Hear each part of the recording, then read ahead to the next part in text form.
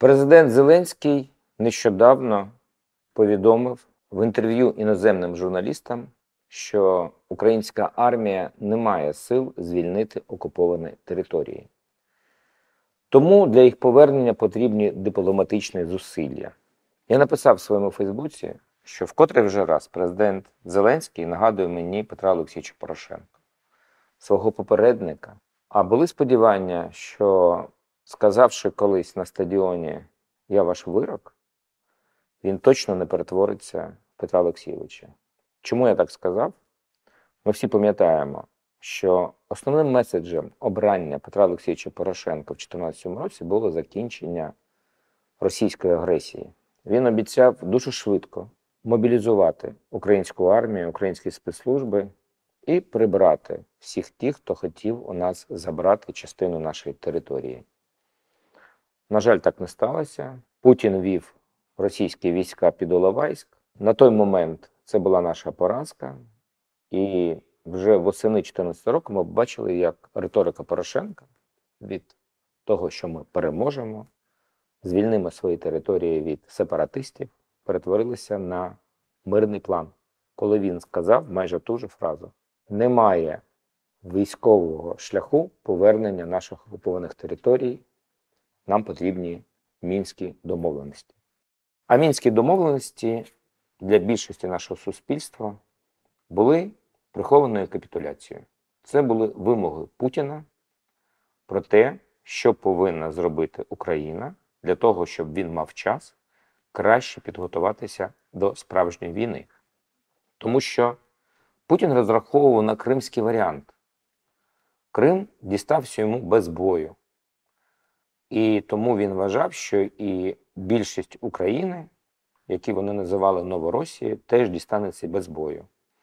Але саме супротив українських добровольців змусив його застосовувати російські війська. І коли він зрозумів, що Україна буде себе захищати, українці будуть себе захищати, він почав готуватися до широкомасштабного вторгнення. На жаль, президент Зеленський цього не розумів. З нашого боку підготовки до Великої війни не було. Всі попередження наших експертів, наших активістів, а також західних партнерів були проігноровані, і для української влади, і для більшості українців 24 лютого 2022 року було несподіваним. Але потім ми бачили іншого Зеленського, який вірив в перемогу, який вимагав від військових перемоги який казав нашим західним партнерам про те, що ми переможемо, просто нам треба все більше і більше допомагати. І от сьогодні це все змінилося. Я знов чую ту фразу, яку чув від Порошенка восени 2014 року. Можна було б сказати так, нарешті президент зрозумів, що відбувається.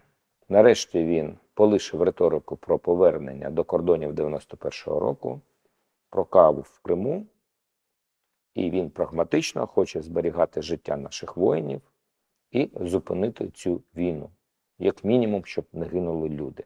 Але щось тут не так. І все питання, а чи дійсно Україна не може перемогти ворога, чи може перемогти? І от сьогодні я хочу поговорити з вами про це.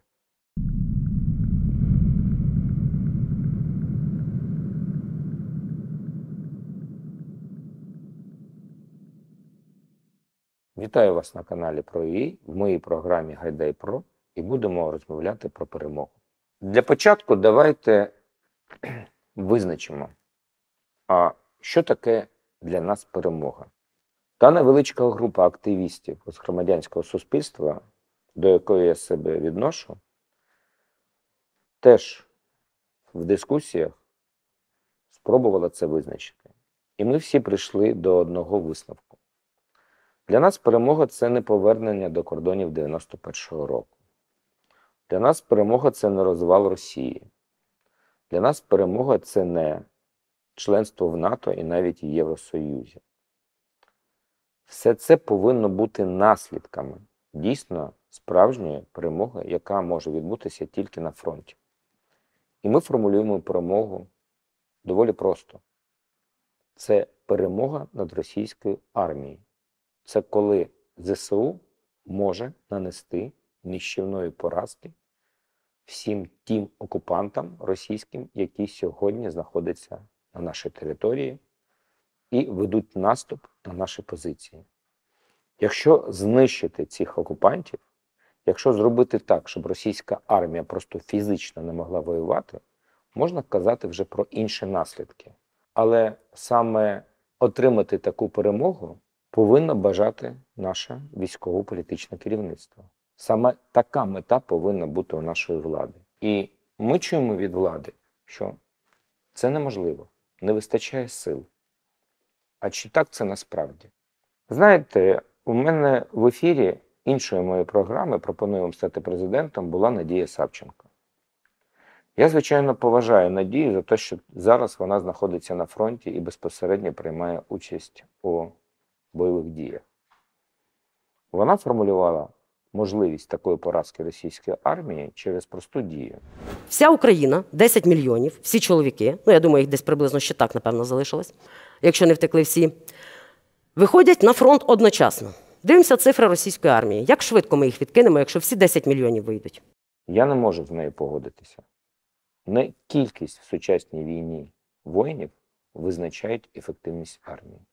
І потім 10 мільйонів цивільних зможуть перемогти російську армію.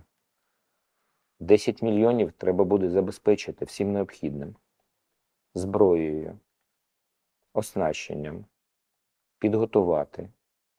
Що з такою кількістю буде робити наше військове керівництво? Це просто буде м'ясо. Ми з Надією розмовляли про радянську військову школу. Я їй казав, що саме радянська військова школа і є одною з проблем нашої армії. Воювати не технологіями, воювати не оснащенням, воювати не військовим ефективним управлінням, а воювати людьми, маючи необмежену кількість солдат, яких можна слати, штурмувати посадки, слати, звільняти наші міста, не рахуючись втратами. Так в сучасній війні не перемогти. Знаєте, я інколи замислювався, що є важливим вивчати молодому чоловіку, коли він готує себе до життя в школі. Як не дивно, це математика. Я, наприклад, математику в школі не любив, мені більше йшли такі науки, як фізика, біологія, географія, інші. Але математика це є наука, яка тренує ваше мислення, вашу логіку. Але головне, що вона тренує, це можливість вирішити завдання. Якщо ти управлінець, якщо ти знаходишся в управлінні державою, то треба вміти вирішувати завдання.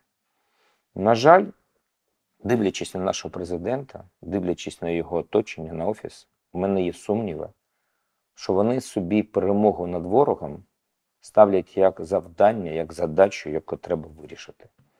А давайте зробимо це за них, підкажемо їм, як це треба було б зробити. Які умови цього завдання у нас є? А вони такі.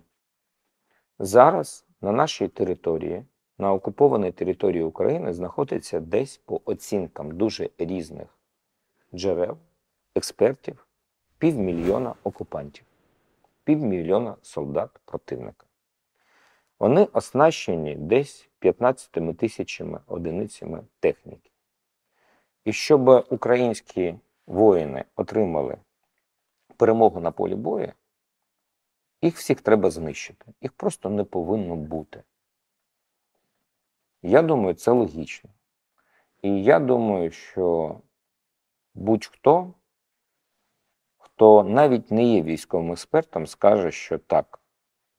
Якщо знищити кожного російського солдата, якщо знищити всю техніку, яка у них є, це може нам забезпечити доволі значущу перемогу на фронті. А що для цього потрібно?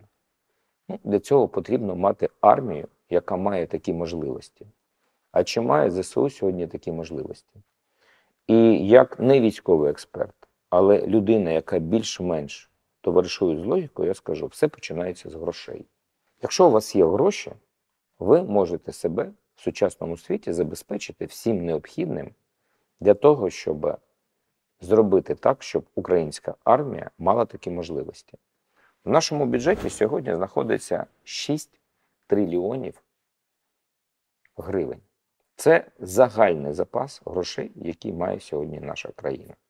Це і те, що дають нам наші союзники, і те, що зберігається в золотовалютних запасах Національного банку, і те, що ми самі заробляємо 6 трильйонів гривень. Що ще ми маємо? Ми маємо майже мільйон своєї армії, навіть більше. Точної цифри ніхто не каже, але більшість експертів і офіційні дані кажуть, що в силах оборони більше мільйона бойців сьогодні з нашої сторони. Так, вони не всі приймають участь в бойових діях, їх там менше. Але якщо зробити так, що кожен воїн, який приймає участь в обороні, буде мати можливість знищувати в рази більше ворогів, ніж він сам, то завдання знищити в півмільйона ворогів на фронті реально. Що для цього потрібно? Знаєте, я не буду казати про все. От зараз за межами моїх роздумів будуть оборонні лінії, які давно треба було збудувати. А наше військове керівництво цього не зробило. Причому, знаєте, я в перших своїх відео показував, знайшов от такі, буклет, які захисні споруди може собі дозволити Україна. Повірте мені, це дуже якісні споруди. Це споруди, які можуть зберегти життя тисяч і тисяч наших бійців. А ще нам потрібні міни, якісні міни для мінометів, які начебто ми випускаємо, але дуже неякісні. Скандали останніх часів це показують. А ще нам потрібна бронетехніка, ще нам потрібні снаряди натівських калібрів, а ще нам потрібна артилерія. Але оце все зараз я за межі відпускаю. Бо фахівці військові кажуть, що основною зброєю, яка може допомогти нам знищити ворога, є безпілотні системи. Ми зв'язалися з нашими друзями з фронту, які допомогли нам зробити розрахунки, скільки і чого нам сьогодні потрібно, і чи можемо ми це забезпечити. Причому я не буду казати зараз про допомогу Сполучених Штатів Америки і стосовно перемовин з Путіним. Я не буду казати вам і про ленд-ліз, який міг би забезпечити нам багато чого з високоточної зброї. Я буду казати лише про те, що ми самі сьогодні, маючи такий бюджет, могли б зробити. І так, для того, щоб наші воїни могли знищувати ворогів і знищити майже їх всіх, треба не менше, ніж 5 мільйонів FPV-дронів. Це такі дрони, які є в полосі 5 кілометрів на фронті основною зброєю поразки живої сили і також техніки. На це треба витратити 2,5 мільярди доларів. А ще, якщо б у нас було хоча б 150 тисяч далекобійних дронів, які знищують ворога ну, в полосі 100 кілометрів, 200 або 300, бо треба знищувати їх склади, інфраструктуру, треба знищувати їх штаби. На це треба витратити теж 2,2,5 мільярди доларів. А також є такий вид дронів, які ми називаємо бомбери. І ви знаєте, що завдяки вашим донатам наш канал збирає на ці дрони свої кошти і купує для них дрони-розвідники. І так от оці бомбери рекордсмени в знищенні важкої техніки ворога. Вони знищують танки, САУ, бліндажі, працюють вночі, і тому ворог їх називає Баба-Яга. Знаєте, хто з військових підрозділів має найкращу статистику по знищенню тяжкої ворожої техніки? Це великі бомбери, які панічно російські окупанти називають Баба-Яга. Вони знищують ворожої військової техніки значно більше, ніж арта.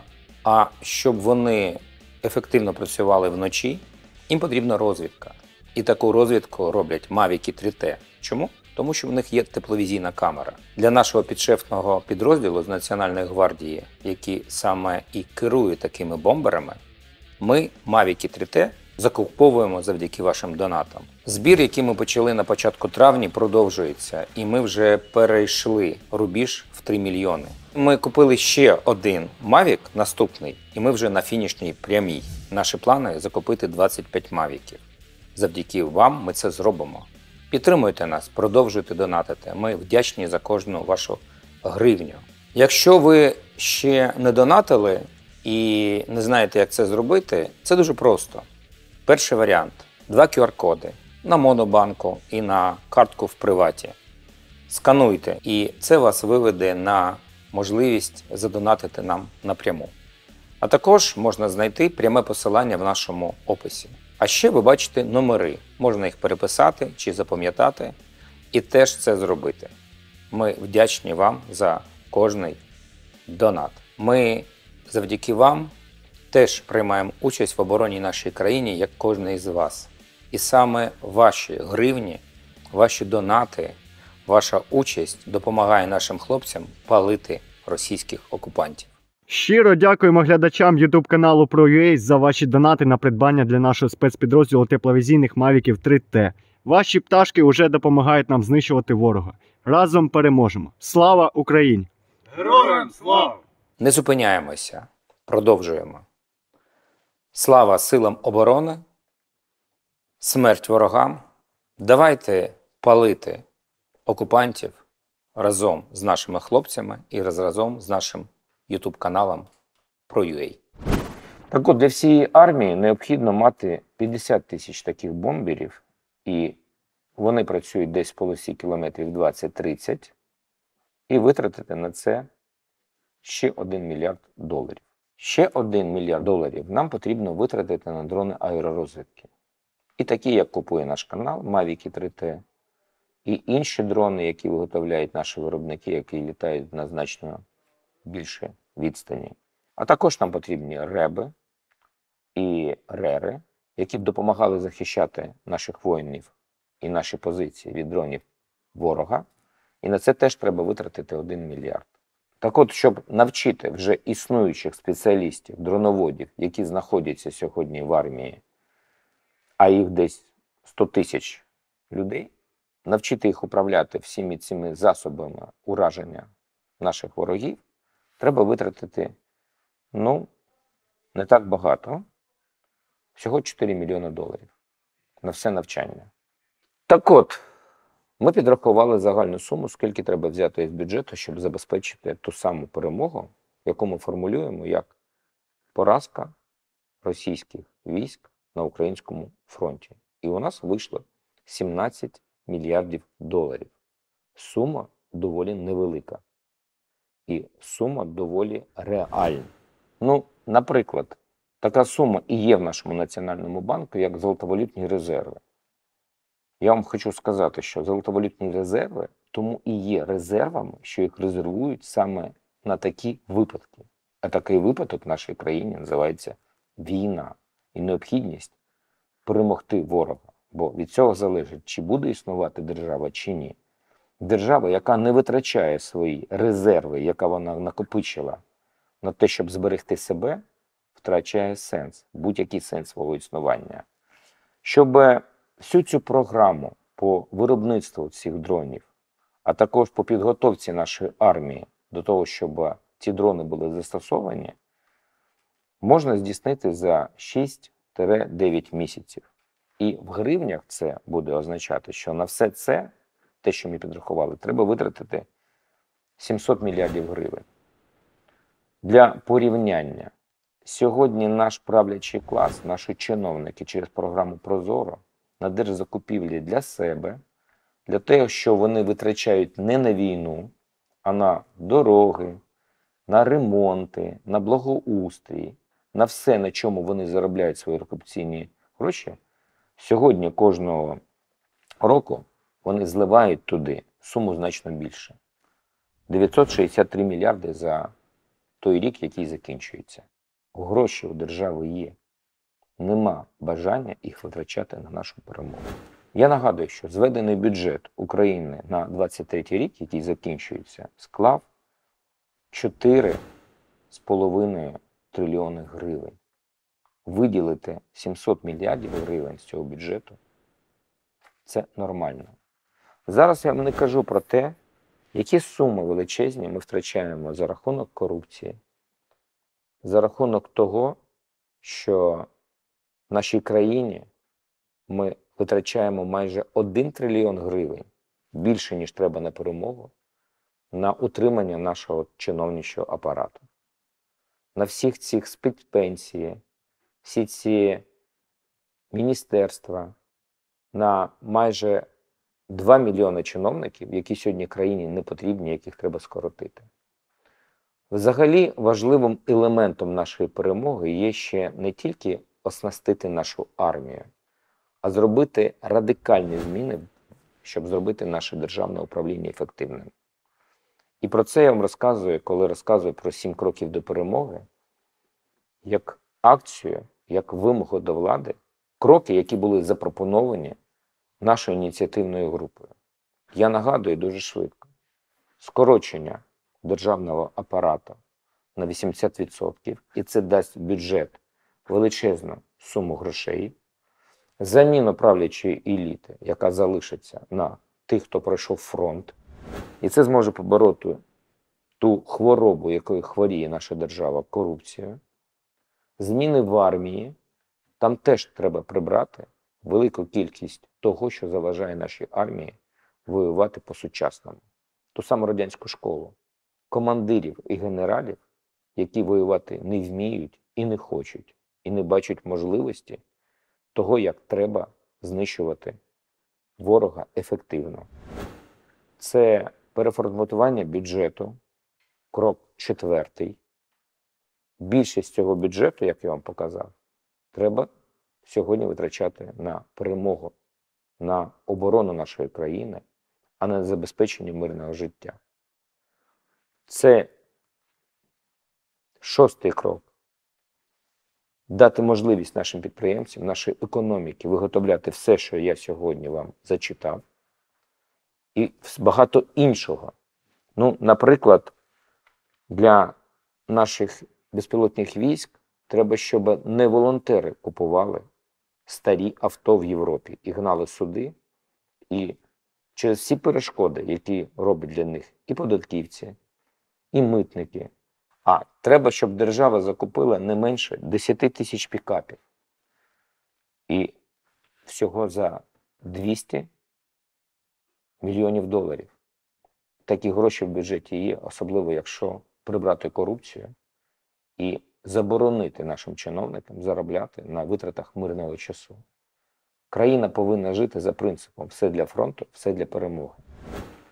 Знаєте, ми впевнені, що Україна може перемогти Росію, а влада і експерти, які її обслуговують, нам доказують, що ні, сил немає. Будемо проводити референдум про те, щоб українці погодилися на нові мінські угоди, а реально на капітуляцію. Причому, знаєте, про що я думаю? Що навіть якщо заморозити конфлікт, наші чиновники не будуть працювати на обороноздатність країни, вони не будуть готувати нашу країну до нової агресії. Бо навіть війна не перевела їх в режим, щоб вони не крали гроші, а витрачали їх на оборону. А от росіянам ця заморозка потрібна буде, щоб краще підготуватися до нової агресії, і вона знову буде. Як це вже один раз відбулося. Тому я не вірю в мирні перемовини. А термін дипломатичний шлях в мене визиває великі питання. Історія каже, що окуповані території можна повернути тільки в два способи. Спосіб перший це нанести поразку окупантам і зробити так, щоб вони не могли їх втримувати. Спосіб другий довгий Це військово-політичний спосіб ввести таку політику, яка призведе до того, що окупанти з часом дійсно не зможуть утримувати цю територію або буде їм це невигідно. Приклади в історії: Сполучені Штати Америки розв'язали холодну війну проти Радянського Союзу, зробили так, щоб виснажити Радянський Союз в перегонах по озброєнням, і Радянський Союз не міг далі утримувати окуповану Східну Європу. А згодом він розвалився. Ті ж Сполучені Штати Америки робили все, щоб супротив маджахедів в Афганістані був постійним для радянського контингенту військ. І велика супердержава Радянський Союз в Афганістані отримав поразку. Він вивів свої війська, тому що далі отримати було невигідно. Я не думаю, що наша влада в майбутньому зможе проводити таку політику. Ми не супердержава.